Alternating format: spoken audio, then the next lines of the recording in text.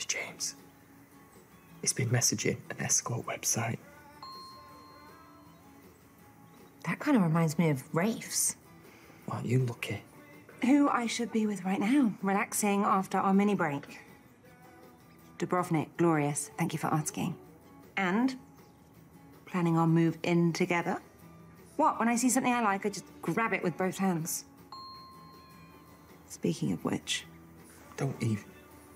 Ste, are you sure you're not just looking for a distraction? I mean, I heard that Peri was arrested. She wasn't arrested. Okay. She was just taken in for a chit chat. Anyway, James has texted me he's dealing with it. Question is, is he also dealing with that? Oh my. Lucas, you're late for school. Get out. Us. Goodbye, Auntie Sienna. Who's he calling Auntie? I feel sick. Why, every time when things get tough for James, does he do stuff like this? I get he's upset over Romeo. But why don't you just talk to James?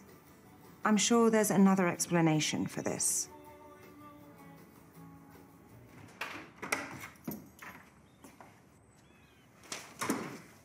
What's the news? What? I'm Peri. Oh, um, yeah, Peri, she's out. Job done. Thanks for that. Now, what's all this about? If you were thinking of buying me a present, maybe a bottle of Chablis would be better. Stop, James. This is your laptop. And you see these messages? They've been coming through all day, and it's responses to messages sent by you. What? Ste, this isn't me. No, don't lie to me. I've read them all. Love the pics. How much for a secret rendezvous? Ste, I mean, this can't be me. I mean, even two bottles of wine deep, I would never misspell rendezvous. What? I'm dyslexic. Think. There's only one person in this house with spelling that bad who would also revel in splitting you and me up. Lucas. Lucas won't do something like this. Y- yes, he would. We've already caught him lying about the whole Dylan bullying thing. There's nothing more he'd like than you kicking me to the curb. You know I'm right. If you'll excuse me, I'm going to go and have a lie down. Some of us have bigger problems than a stroppy teen with a penchant for mind games.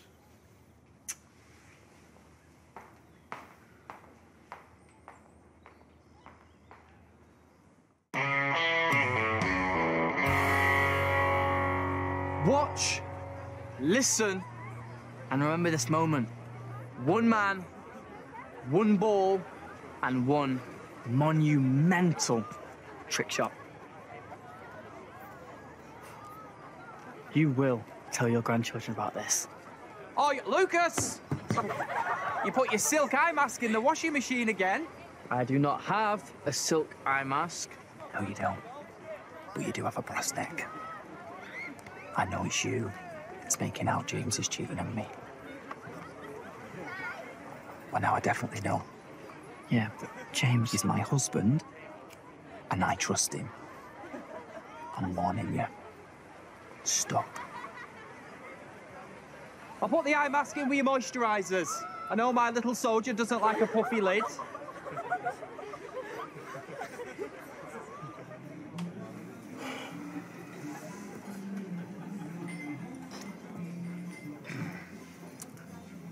They've been released.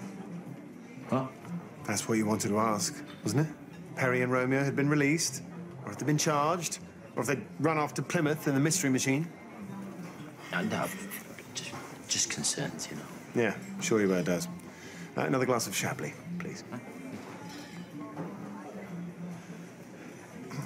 Sorry for bending your ear about Goldie. I know you've got other stuff going on. No, no, not at all. Nothing like a McQueen flouting the law to clear out the cogs. So, answer me this, right?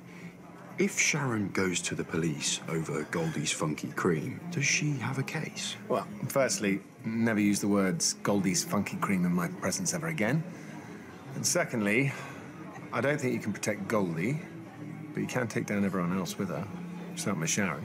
I mean, letting your mother's face melt in front of your eyes, that's medical negligence right there. You love all this, don't you? Oh, well, the law is my passion. Bending the law is your passion. you remember well.